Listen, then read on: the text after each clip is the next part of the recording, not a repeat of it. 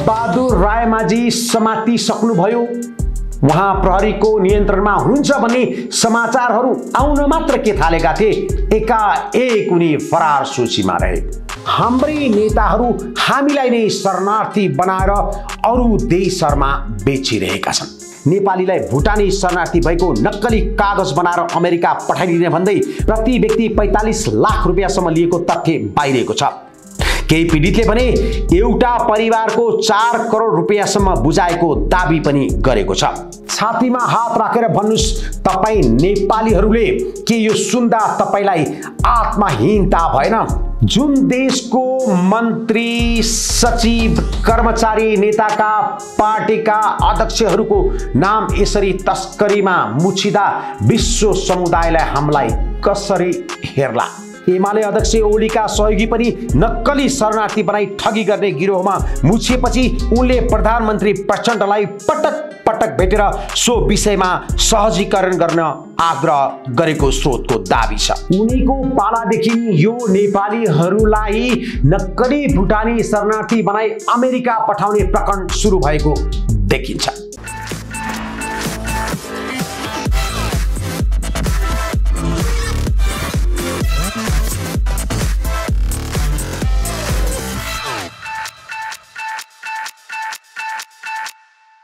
नमस्कार। जननी जन्मभूमिश्च स्वर्गादपि गरिएसी।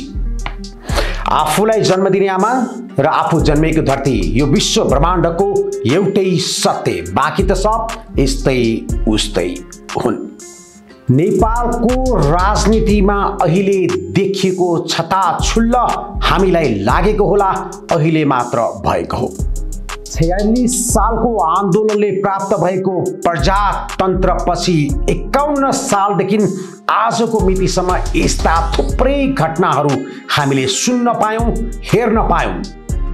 कहिले मिडियामा त कहिले कहाँ कहिले राष्ट्रिय समाचारमा कहिले अन्तर्राष्ट्रिय समाचारमा। अहिले भने यो अलि चर्को भएको छ। प्रसङ्ग हो। नेपालीहरूलाई नक्कली भुटानी शरणार्थी बनाएर अमेरिका पठाउने प्रकरण। सुन्दा हेर्दा पनि लास लाग्ने। एकपटक छातीमा हात राखेर भन्नुहोस् तपाईँ नेपालीहरूले के यो सुन्दा तपाईँलाई आत्महीनता भएन? आत्मगलानी भएन? हामीले नै निर्वाचित गराएर पठाएका हाम्रै नेताहरू हामीलाई नै शरणार्थी बनाएर अरू देशहरूमा बेचिरहेका छन्। भन्न त भन्छौँ महाकालीदेखि हिमालसम्म हामीले बेचिसक्यौँ। अब त मान्छे पनि सरकारले बेच्दैछ भन्दा मलाई कुनै आत्मगलानी भने भएको छैन। देउबा र ओलीको कोर टिम पनि मुछियो नक्कली शरणार्थी प्रकरणमा। नक्कली भुटानी शरणार्थी बनाएर नेपाली नागरिकलाई अमेरिका पठाउने गिरोहमा नेपाली कङ्ग्रेसका सभापति शेरबहादुर देउबा र नेकपा एमालेका अध्यक्ष केपी शर्मा ओलीको कोर टिम पनि मुछिएको छ। सुरक्षा स्रोतले दिएको जानकारी अनुसार ठुला पार्टीका अध्यक्षको सहयोगी र परिवारका सदस्य पनि सो प्रकरणमा जोडिएका छन्। एमाले अध्यक्ष ओलीका सहयोगी पनि नक्कली शरणार्थी बनाई ठगी गर्ने गिरोहमा मुछिएपछि उनले प्रधानमन्त्री प्रचण्डलाई पटक पटक भेटेर सो विषयमा सहजीकरण गर्न आग्रह गरेको स्रोतको दावी छ। अचम्म। तपाईँलाई लाग्ला अन्य विकसित देशहरूमा पूर्व प्रधानमन्त्रीहरूले वर्तमान प्रधानमन्त्रीहरूलाई देशको अवस्था आर्थिक सामाजिक भौतिक सुरक्षा र देशलाई अगाडि बढाउन के गर्नुपर्छ भनेर सल्लाह गर्न भेटे होलान् भन्ने।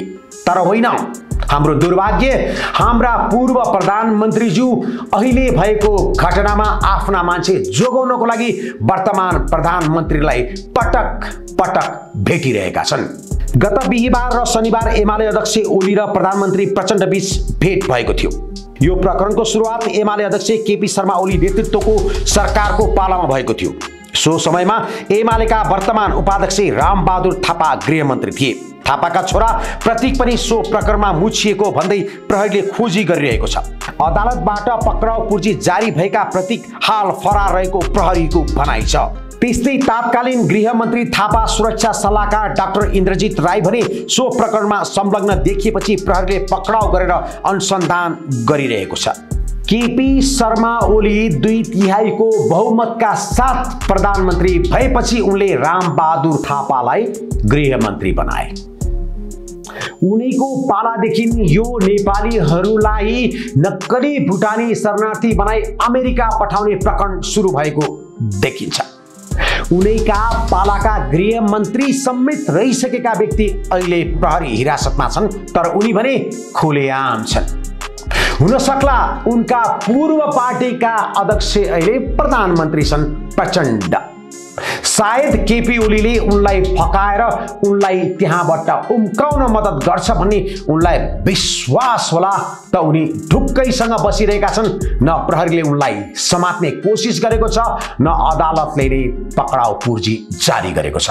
थापा गृहमन्त्री भएको बेला गृह सचिवको जिम्मेवारीमा प्रेम राई थिए।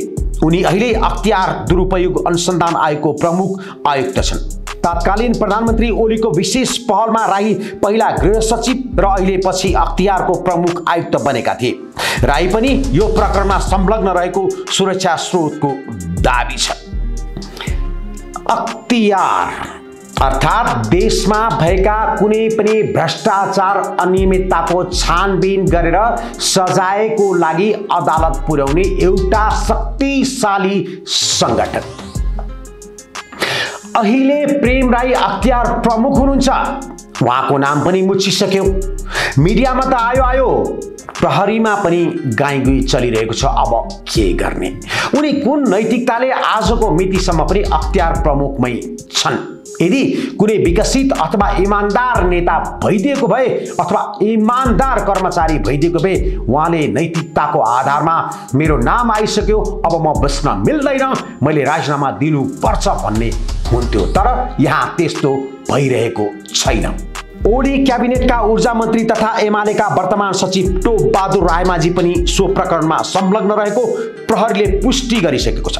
अदालतबाट पक्राउ पुर्जी जारी भएपछि नेता रायमाझी हाल फरार रहेको प्रहरीको भनाइ छ।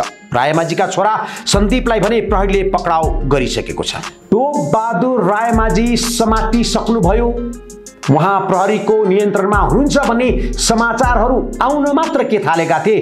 एकाएक उनी फरार सूचीमा रहे। नेपालको प्रहरी विश्वको पाँचौँ स्थानमा छ। कति गर्व लाग्छ भन्दा के प्रहरीले नसकेको हो? होइन। प्रहरीलाई उनलाई समात्न दिइएको छैन भन्ने कुरा स्पष्ट नेपाली जनताले अब बुझ्ने बेला भएन र। ओली सरकार ढलेपछि नेपाली काङ्ग्रेसका सभापति शेरबहादुर देउबाको नेतृत्वमा सरकार बनेको थियो। सो सरकारको गृहमन्त्री थिए बालकृष्ण खाँड र गृह सचिवको जिम्मेवारीमा टेक नारायण पाण्डे आएका थिए। नक्कली शरणार्थी प्रकरणमा संलग्न रहेको भन्दै प्रहरीले सचिव पाण्डेलाई पक्राउ गरेर अनुसन्धान गरिरहेको छ। मन्त्रालयमा सबैभन्दा ठुलो भनेको मन्त्री हुन्छ अनि उनलाई सघाउनको लागि सचिव। बालकृष्ण खाँड गृहमन्त्री हुँदा भएका सचिवलाई प्रहरीले नियन्त्रणमा लिइसक्यो। तर बालकृष्ण खाँडलाई प्रहरीले नियन्त्रणमा लिने त परको कुरा। उनको नाम मात्रै मुसिएको छ। साई सुई कहीँ कतै केही देखिन्न। हुन त नेपाली कङ्ग्रेस अहिले गठबन्धनको सरकारमा छ। उनीहरूकै समर्थनबाट प्रचण्ड प्रधानमन्त्री छन्। अब प्रधानमन्त्री पनि उनी छन् र गृहमन्त्रीमा पनि उनैका पार्टीका नारायण काजी श्रेष्ठ छन्। के सम्भव होला गठबन्धन तोड्ने डर नहोला।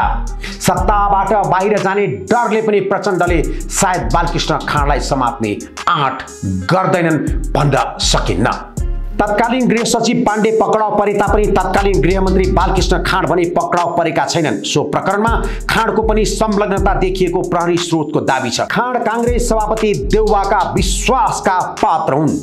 प्रहरीको उपत्यका अपराध अनुसन्धान कार्यालयले बाह्र चैत्रमा भुटानी शरणार्थी बनाएर अमेरिका पठाइदिन्छु भन्दै असुली गरेको आरोपमा मोरङका केशव दुलाल ललितपुरका सानु भण्डारी र पाँच थरका टेक गुरुङलाई पक्राउ गरेको थियो। यसको तिन दिनपछि मोरङका सागर राई पनि समातिएका थिए। उनीहरू समातिएपछि मात्र यो प्रकरण सतहमा आएको र राज्यका जिम्मेवार तहमा बसेका व्यक्तिहरू नै संलग्न रहेको पाइएको हो। तल बसेर मध्यस्थता गर्ने सघाउनेहरू समातिएको धेरैवटा हामीले घटना सुनेका छौँ। तेत्तिस किलो सुन। यस्ता धेरै छन् उदाहरण दिनको लागि सायद मलाई दुई तिन दिन लाग्ला सबै उदाहरणहरू प्रस्तुत गर्नको लागि। तर जिम्मेवार पदका उच्चतम महत्त्वपूर्ण व्यक्ति भने समातिएर अनुसन्धानमा आएको नेपालमा एउटा दुईटा घटना बाहेक छैन। कस्तो अचम्म राज्य सत्ता नै शरणार्थी बनाएर मानव तस्करमा जोडियो जोडियो मात्र होइन प्रमाण सहित नै आयो प्रहरीले अनुसन्धान नै गरिसक्यो यदि हाम्रो देशको नेताहरूमा अझै पनि नैतिकता छ भने प्रहरीलाई छोडिदिउ स्वतन्त्रपूर्वक कारवाही गर्नुहोस् हामी तपाईँहरूलाई हस्तक्षेप गर्दिन भन्न सक्नु पर्थ्यो सार्वजनिक रूपमा पनि अनि व्यवहारिक रूपमा पनि। तर यहाँ पूर्व प्रधानमन्त्री पूर्व मन्त्रीहरू सत्तामा भएका प्रधानमन्त्री मन्त्रीहरू सांसदहरूलाई गुहार्दै हुनुहुन्छ कि मेरा मान्छेहरूलाई पनि नतान्नु अन्यथा लहरो जाँदा पहरो जाला भनेर धम्क्याउँदैछन्। त्यसमाथि दस एघारवटा पार्टीको गठबन्धनले बनेको छ यो सरकार। के? यो सरकारले त्यो हिम्मत गर्ला? त्यो स्तरको नेता कार्यकर्ता जो जति पनि मुसिएका छन् सबैलाई कठघरामा उभ्याउन हिम्मत गर्ला? नक्कली शरणार्थी प्रकरणमा तत्कालीन गृहमन्त्री र सचिव नै संलग्न भएको तथ्य बाहिरसँगै राज्य नै मानव तस्करमा संलग्न भएको आरोप लागेको छ। मोटो रकम लिएर नेपालीलाई भुटानी शरणार्थी बनाएर अमेरिका पठाउने कार्यमा गृह मन्त्रालयका उच्च अधिकारी नै संलग्न भएको पाएपछि विश्व समुदायले नेपाललाई हेर्ने दृष्टिकोण नै फरक हुने नै भयो। जुन देशको मन्त्री सचिव कर्मचारी नेताका पार्टीका अध्यक्षहरूको नाम यसरी तस्करीमा मुछिँदा विश्व समुदायलाई हामीलाई कसरी हेर्ला? भोलिको दिनमा विश्व सामु म नेपालको प्रतिनिधित्व गरेर आएको फलाना मन्त्री फलाना नेता फलाना सचिव भनेर कसरी शिर उठाएर भन्लान्? बिस तिस चालिस पचास लाख रुपियाँको लागि सयौँ मानिसहरूसँग पैसा लियो। यदि उनीहरूले प्रतिकार नगरेको भए यो पनि साम सुमै हुन्थ्यो। सुन्नमा र बुझ्नमा हामीलाई आए अनुसार यो नेपालले चाहेर गरेको होइन। यो अन्तर्राष्ट्रिय दबाव हो जसको कारणले बाध्य भएर ठुलालाई छोड्दै सानालाई समाउँदै यो केसलाई यही लुकाउने दाउमा पुगेको हो। नेपालको सरकार अनि नेपालको प्रशासन निरीह बनिरहेको छ। नेपाल प्रहरी। गृह मन्त्रालयका उच्च अधिकारीहरूको समेत संलग्नतामा नेपालीलाई भुटानी शरणार्थी भएको नक्कली कागज बनाएर अमेरिका पठाइदिने भन्दै प्रति व्यक्ति पैँतालिस लाख रुपियाँसम्म लिएको तथ्य पाइरहेको छ। केही पीडितले भने एउटा परिवारको चार करोड रुपियाँसम्म बुझाएको दावी पनि गरेको छ। तर यसरी रकम लिए पनि आफूलाई अमेरिका नपठाएको भन्दै एक सय पैँतालिसजना पीडितले प्रहरीमा निवेदन दिएपछि यो तथ्य सार्वजनिक भएको हो। नक्कली शरणार्थी प्रकरणमा ठुला दलका प्रभावशाली नेता र अध्यक्ष तथा सभापतिका निकट नेता तथा प्रशासक तानिन थालेपछि यो प्रकरणको अनुसन्धान रोकिने हो कि भन्ने शङ्का उत्पन्न भएको छ। ठुला पार्टीका प्रभावशाली नेता र नेतृत्वका खास मान्छेहरू समातिन थालेपछि दलहरूको मिली भगतमा अनुसन्धान प्रभावित पार्न सकिने शङ्का सर्वसाधारणले गर्नु कुनै नौलो कुरा भएन।